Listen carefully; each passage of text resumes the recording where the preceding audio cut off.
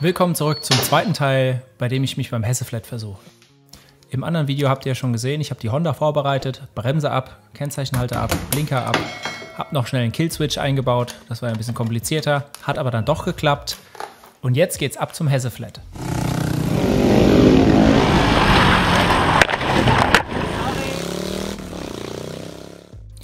Im ersten Teil habt ihr es ja schon gesehen, es war ein bisschen zeitkritisch alles, deswegen habe ich schnell noch gefrühstückt beim Fahren und dann bin ich auch schon angekommen. Hier seht ihr das schöne Oval. Ich bin dann mal auf die Strecke gegangen und habe mir den Belag angesehen. Ich kenne das ja alles nicht, deswegen musste ich mir mal ein Bild davon machen, wie rutschig das Ganze auch ist. So eine Art Kies, Sand. Fährt sich bestimmt gut.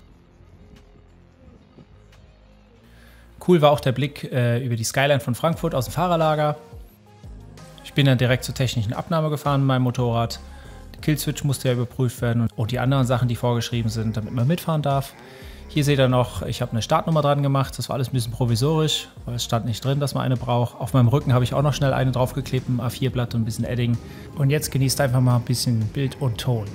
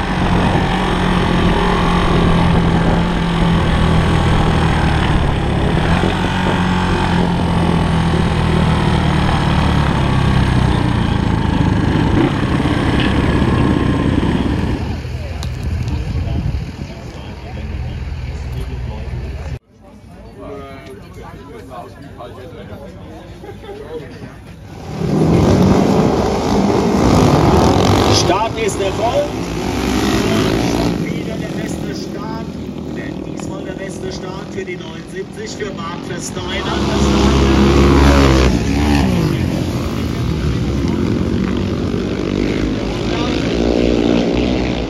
Auch jetzt wieder über acht Runden. Jerpin setzt sich durch. Erst einmal.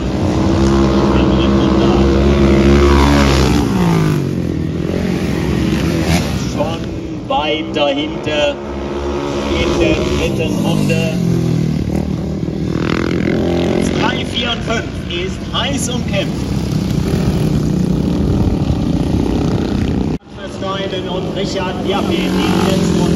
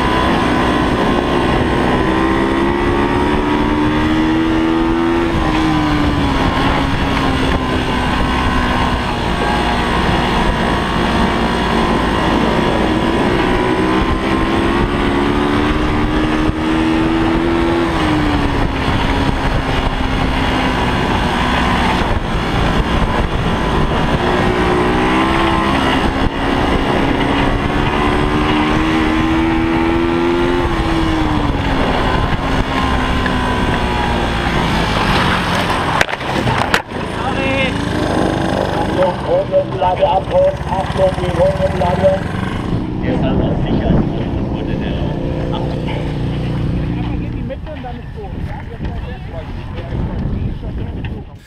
Ja, da habt ihr es gesehen. Ich habe mich jetzt im letzten Rennen nochmal schön auf den Appel gelegt. Ich hätte Vierter werden können, ich wollte aber alles geben und man muss ja auch mal testen, wie es sich anfühlt, wenn man auf die Schnauze fällt.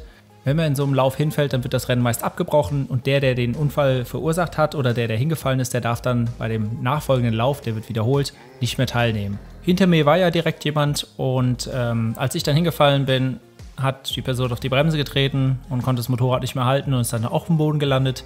Die konnte aber dann teilnehmen, wieder die Person am zweiten Lauf und wurde am Ende dann noch Vierter. Bei meinem Motorrad ist nichts passiert, ist nur der Kupplungshebel abgebrochen, aber den gibt es ja für 5 Euro neu zu kaufen. Kleinigkeiten hier, die Schaltung ist mal ein bisschen gebrochen, das schweiße ich wieder. Das Motorrad hat eigentlich keinen Schaden davon getragen und ich kann es weiterhin fahren. Die Veranstaltung hat mir echt mega viel Spaß gemacht und ich werde auf jeden Fall beim nächsten Jahr dabei sein. Da baue ich mir dann aber nochmal ein richtiges Motorrad, damit ich ordentlich angreifen kann. Was mir sehr gut gefallen hat, war auch, dass die Leute vor Ort sehr nett waren. Die haben einem geholfen. Man ist da gut aufgenommen worden. Auch jetzt wie ich hier als Anfänger mit so einem stümperhaften Motorrad mit Rücklicht noch dran und sonst den Kram. Also die haben einen nicht blöd angeguckt, sondern die waren echt herzlich und alle super lieb und nett. Am besten kommt ihr einfach im nächsten Jahr vorbei und guckt euch die Veranstaltung an. Ich werde mir auf jeden Fall ein Motorrad zusammenbauen. Und falls ihr sehen wollt, wie ich mir so einen Flat Tracker baue, könnt ihr einfach den Kanal abonnieren, das Video liken. Dann bleibt auf Stand und seht, wann ich das Ding auch anfangen werde zu bauen. Falls ihr da Ideen, Vorschläge oder Anmerkungen habt, wie man so ein Teil perfekt aufbauen kann, könnt ihr gerne in die Kommentare reinschreiben. Ich lese mir die alle durch und das hilft mir dann, damit ich nicht von Null starten muss bei meinem Flatrack Motorrad.